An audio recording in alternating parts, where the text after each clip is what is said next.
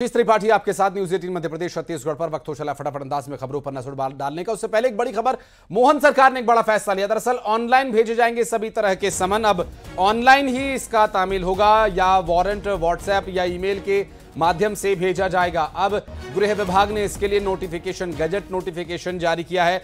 Email bounce back न होने पर तामील मानी जाएगी, और ऐसा देश में पहली बार होने जा रहा है। दरअसल इसके लिए संबंधित विभाग को मुख्यमंत्री ने बधाई भी दी है। इलेक्ट्रॉनिक माध्यम से समन देने का फैसला किया गया। दरअसल ऑनलाइन समन भेजने वाला पहला राज्य होगा मध्य प्रदेश इस आ, समन के संबंध में गजट इस्तेमाल नहीं करने वालों पर मान्य नहीं।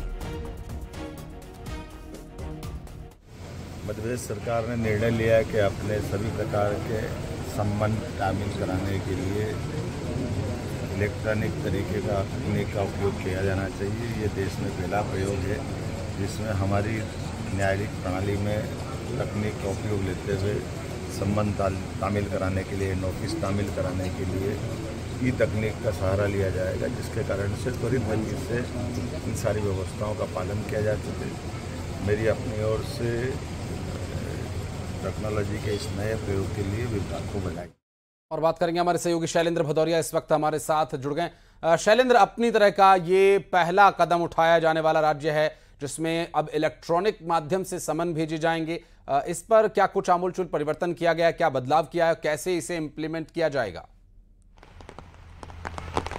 देखिए, बिल्कुल आपने ठीक कहा कि ऑनलाइन सम्मान तामील कराने वाला मध्य प्रदेश पहला राज्य होगा। इसको लेकर देखिए, तमाम जो तैयारियाँ हैं, वो गृह विभाग की तरफ़ से की जा रही थी और उन तैयारियों या ये कहें कि पूरा जो है, वो परीक्षण किया गया किस तरीके से इसको सम्मान को तामील कराया जाएगा कौन कौन लोग इसमें आ सकते हैं, जो लोग गजट, गजट्स उपयोग नहीं करते हैं, ईमेल का उपयोग नहीं करते तो क्या उनके लिए किस तरीके से होगा? उस सब के बाद जो है, मध्य प्रदेश सरकार के गृह विभाग ने अब नोटिफिकेशन जारी कर दिया गया है कि जो अपराधी या जो लोग भी आ, गजट का उपयोग करते हैं जिनका मोबाइल नंबर है जिनका ईमेल है उनको अब ईमेल और मोबाइल यानी व्हाट्सअप के ज़रिए जो है वो सम्मन भेजे जाएँगे। देखिए राजधानी सहित अगर मैं पूरे देश भर की अगर बात करूँ तो पुलिस के लिए सबसे बड़ी चुनौती होती है वारंट की तामील कराना। क्योंकि देखिए, जब भी कोई पुलिसकर्मी वारंट लेकर उनके घर मौजूद पहुँचता है तो घर वालों के द्वारा ये कह दिया जाता है कि वो घर पर मौजूद नहीं हो। और ऐसे में जब सम्मन जो है या वारंट जो है वो तामील नहीं हो पाता ऐसे में कोर्ट की फटकार लगातार मध्य प्रदेश पुलिस को भी झेलनी पड़ती है। और यही कारण है कि अब एक नया तरीका, यानी जो बदलते भारत की तरफ़, जो डिजिटल भारत की तरफ़ जो एक नया कदम मध्य प्रदेश सरकार ने उठाया है कि अब संबंधित व्यक्ति के व्हाट्सएप पर या मेल पर उसको सम्मान भेज दिया जाएगा और वो भले ही देखे या ना देखे, लेकिन कोर्ट में ये मान लिया जाएगा कोर्ट की तरफ़ से कि वारंट आपको तामील हो चुका है और उस वारंट की तामीली के बाद अगर आप कोर्ट में हाजिर नहीं होते हैं, थाने में हाजिर नहीं होते हैं तो नियम अनुसार आप पर कार्रवाई भी की जाएगी। तो मध्य प्रदेश सरकार के एक बड़ा कदम इसे कहा जा सकता है, जिस तरीके से प्रधानमंत्री नरेंद्र मोदी लगातार डिजिटल भारत की बात करते हैं तो उस कड़ी में एक बड़ा कदम ये माना जा सकता है कि ये जो अब जो पुलिस प्रणाली प्रक्रिया जो है वारंट तामीली की, अब वो ऑनलाइन होगी। इसको लेकर मध्य प्रदेश के मुख्यमंत्री डॉक्टर मोहन यादव ने गृह विभाग के अधिकारियों को भी बधाई दी है। जी। बहुत शुक्रिया आपका इस जानकारी के लिए, शैलेंद्र। और चूँकि ये जो पूरा घटनाक्रम है, अब एक बड़े बदलाव की ओर इशारा कर रहा है और अब पुलिस को समन भेजने के बाद बार बार चक्कर लगाने की आवश्यकता नहीं है और समन की तामील व्हाट्सएप या ईमेल पर भेजने के साथ ही मान्य, मानी जाएगी। पढ़ते आगे, छत्तीसगढ़ शराब घोटाला से जुड़ी एक बड़ी खबर आ रही है। सभी आरोपियों की याचिकाओं को हाईकोर्ट ने खारिज किया। डिवीज़न बेंच ने यह फैसला सुनाया। पूर्व आईएएस अनिल टुटेजा अरुणपति त्रिपाठी, अनवर ढेबर, विधु गुप्ता सहित अन्य आरोपियों की मुश्किलें अब बढ़ गई है। दरअसल सभी ने एसीबी और ईओडब्ल्यू की एफआईआर को चुनौती दी थी और एफआईआर रद्द करने की मांग की थी। उमेश मौर्य, हमारे सहयोगी जुड़ गए हमारे साथ बात करेंगे उनसे। उमेश, क्या डिटेल्स मिल पा रही है अभी?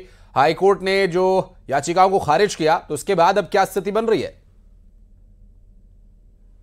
बिल्कुल आशीष जी, देखिए, ये बहुचर्चित शराब घोटाले का मामला था, जिसपे पूर्व आईएएस अनिल टूटेजा, उनके बेटे यश टूटेजा, इसके अलावा एपी त्रिपाठी जो आबकारी आयुक्त थे, इसके अलावा अनवर ढेबर, ये तमाम विदु गुप्ता समेत जो अन्य लोग हैं, इनके खिलाफ जो है ईओडब्ल्यू और एसीबी की टीम ने एफआईआर दर्ज किया गया किया था, और इसी एफआईआर के खारिज करने के लिए इन्होंने हाईकोर्ट में एक याचिका लगाई थी, जिसकी सुनवाई दस जुलाई को हुई थी।